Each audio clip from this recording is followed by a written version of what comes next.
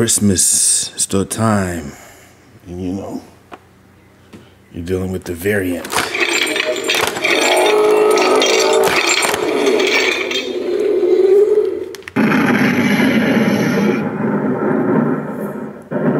That went for the head. So,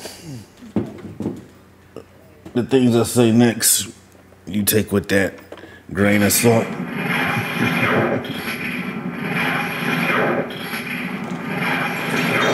None of this is financial advice. I'm not your financial advisor. I'm, I'm nothing to you. But an entity that moves among time and space. Speaking of which, prices come down a little bit. See, okay, except maybe the rare space. Oh, it's gone up a little bit, and the epic space is going up. Why is that? Because oh yeah, sold out, sold out. So this speculation, the too long didn't read. If you want to just get that, is it's impossible to tell with big time how much it's going to be in about a year because we don't know almost anything about the tokenomics except for very slight. So let's just get through it very quickly. What do we know? My thesis as we go forward is that you have to combine Decentraland and Fortnite together in a sense because buying skins on Fortnite is is almost the same as NFTs. So for those who don't play video games, understand that Fortnite made about nine billion dollars in its first two years and this and they really hide the numbers. So even finding this was difficult. The only reason why we found this is because of the case they brought against Apple. So they made about let's just say let's just say three billion a year, and and, and for our purposes, let's say big time just even make you know less than that. Let's just say three hundred million or five hundred million a year off of their NFT slash skins. So based on depending on how much, how many tokens we don't know if there's a cap on the tokens or like Ethereum is just as many as it can be minted. They can keep going. All we know is that for certain, we'll go to here. Is this where the tokenomics is at? No, this is about space. Tokenomics is here. We know that you acquire space, so you either buy space, like the sale that's just happened, or you acquire it during gameplay to expand your personal uh, meta space. And depending on the space you have, this is why I brought this up. These hexagons you see in here, yeah, the hexagons. Um, the the number of them in each space is what you can build on it. So I think, if I'm not mistaken, it's two hexagons to to build timekeepers, three to have a forge. A forge is to create and combine NFTs. So ideally, you want to have forge and timekeeper. So five spaces like this large is where so large here, medium here is where you start to see um, in the myth, in the mythic small is where these all have enough to have at least one timekeeper and one forge. Now these bigger spaces you can have um, more than one.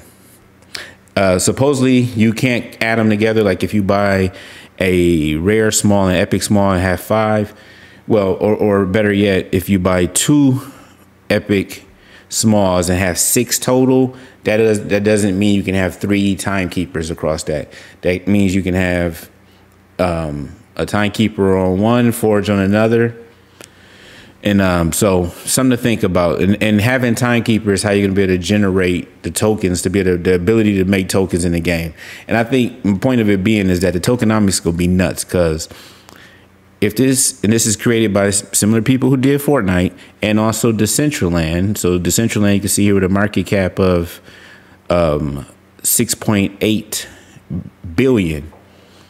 Just think if it's somewhat closer, even just a tenth down. So say that's down to 600 600 uh, million. Uh, take it down um, a magnitude. Same way we brought down a magnitude of what uh, Fortnite is making in theirs.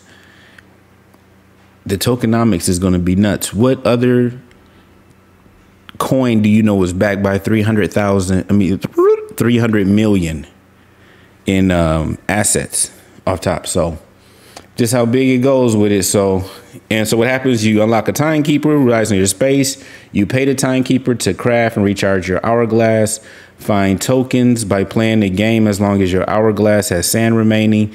So long story short, you put these timekeepers, you have space, put timekeepers on your space. They make hourglasses. You play the game with a, a charged hourglass. As long as you have the charged sand in your hourglass, you can kill things, make money, do things, activities, make money on it. Use tokens in a game to buy rare and exclusive NFTs as well as to recharge your hourglass and more. So completing missions in certain times, probably certain days. There's going to be certain drops. This is going to be almost if you play like even even um, so adding like a Destiny, a Destiny Fortnite, uh, Decentraland in the meta space, and so it just it goes on. So, and and I'm sure it's going to be outside. Now this is all speculation. Remember, the variant that went for the head was also a Black Lantern, so from the future who died. So take everything you hear with that grain is.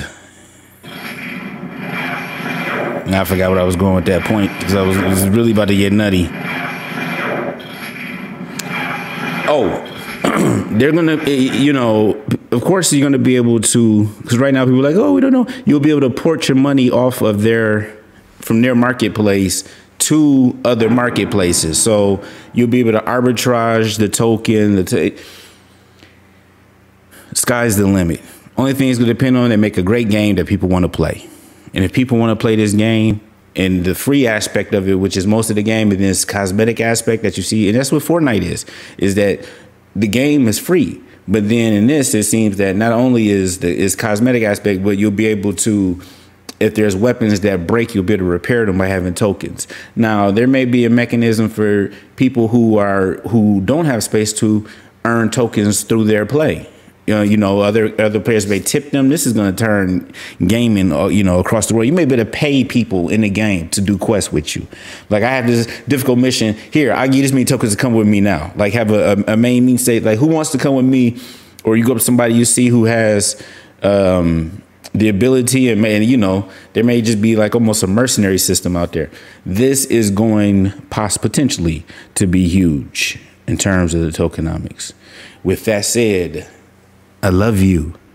You love you. God loves us and that's all that matters